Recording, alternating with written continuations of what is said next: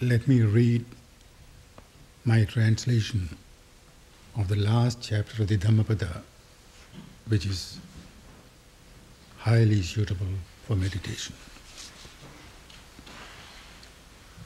The Brahmin cross the river bravely, conquer all your passions, go beyond the world of fragments, and know the deathless ground of life. Cross the river bravely, conquer all your passions, go beyond your likes and dislikes, and all fetters will fall away. Who is a true Brahmin?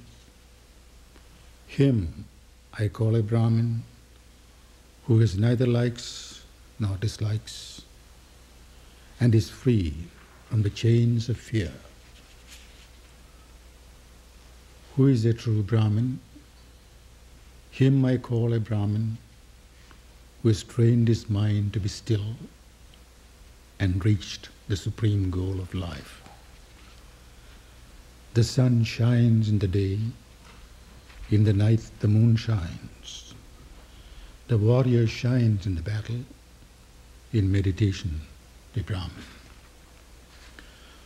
But day and night the Buddha shines in radiance of love for all.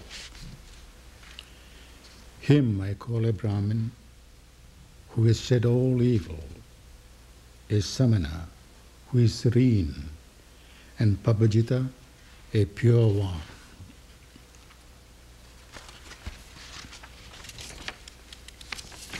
Him I call a Brahmin who is never angry, never causes harm to others, even when he is harmed by them. Him I call a Brahmin who clings not to pleasure, do not cause sorrow to others, no more sorrow will come to you. Him I call a Brahmin who does not hurt others with unkind acts, words, and thoughts. His body and mind obey him.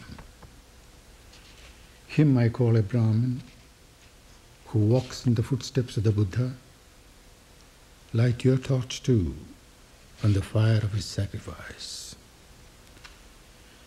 Not matted hair nor birth makes a man a Brahmin, but the truth and love for all his but the truth and love for all life with which his heart is ever full. Not matted hair nor birth makes a man a Brahmin, but the truth and love for all life with which his heart is ever full. Of what use matted hair?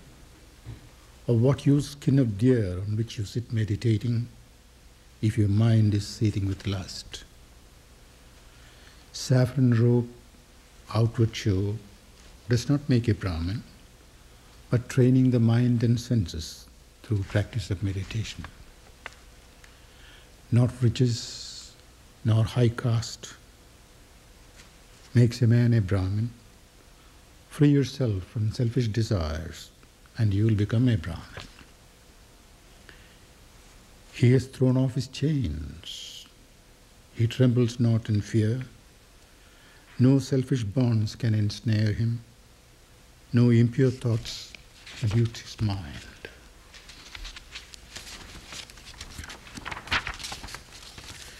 Him I call a Brahmin who fears not jail nor death.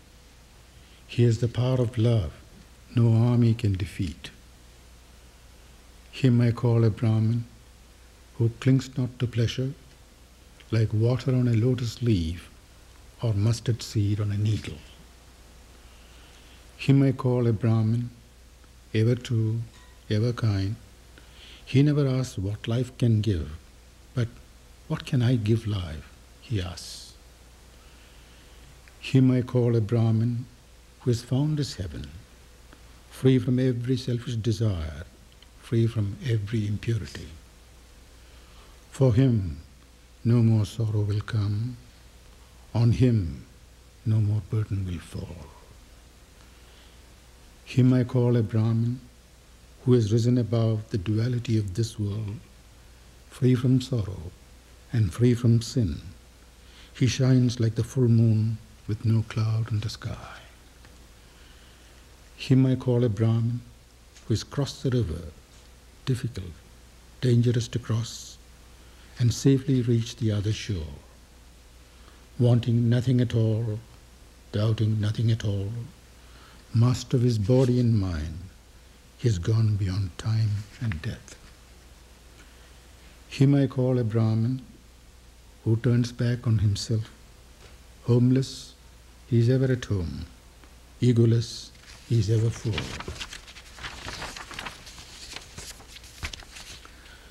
Him I call a Brahmin who is free from bondage to human beings and nature, the hero who has conquered the world.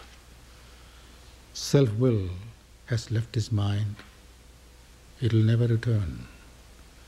Sorrow has left his life, it will never return.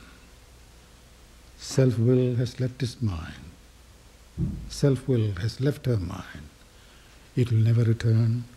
Sorrow has left her life, it will never return. Him I call a Brahmin, free from I, me and mine who knows the rise and fall of life, he will not fall asleep again.